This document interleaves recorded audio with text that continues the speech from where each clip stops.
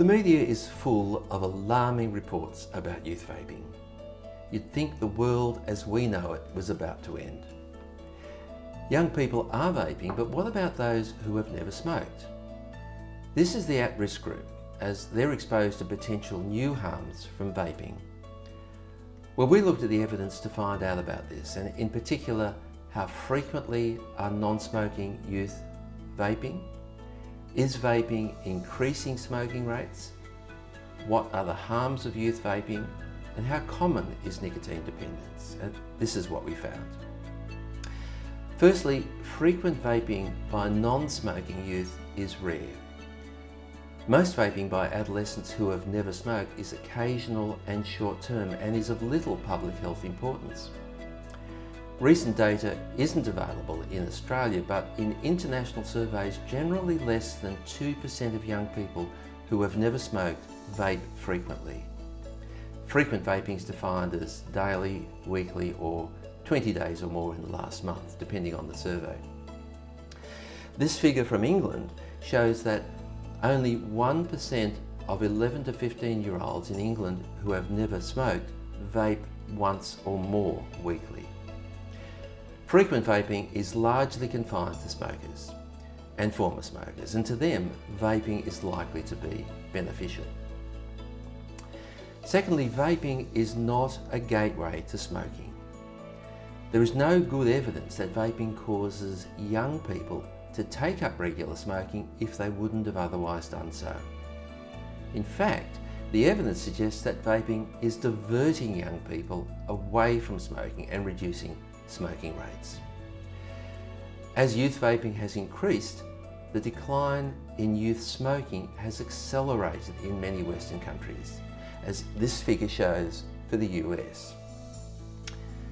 Even if there is a small gateway effect, it's outweighed by the much large, larger number moving from smoking to vaping. Thirdly, the known health effects of vaping in non-smokers are small. Most teens who vape but have never smoked vape infrequently, so their exposure to toxins is low, and the health effects so far appear to be small. Vaping can cause short-term effects such as throat irritation, cough and nausea, and nicotine dependence, which can cause short-term withdrawal symptoms, but there's no evidence of clinically important respiratory symptoms from vaping or of an increased risk in asthma. Teens who smoke don't have significant differences in adulthood in IQ, educational achievement or cognitive function compared to those who've never smoked. So vaping is likely to do little harm High doses of nicotine can harm the adolescent brain in rats and mice, uh, but there's no evidence of harm in humans. But there's no doubt that this little fella here shouldn't vape, and we're very certain about that. There may be harms from long-term vaping, and these need to be monitored, but these are likely to be small. Fourthly, nicotine dependence is rare Vaping can cause nicotine dependence in a small minority of young people who've never smoked, but it hasn't created a new generation addicted to nicotine, as the media and certain politicians like to tell us. One large study in the US found that less than 4% of young people who'd vaped in the past 30 days but never smoked had signs of nicotine dependence. Nicotine dependence is largely concentrated in young people who have previously or currently smoked.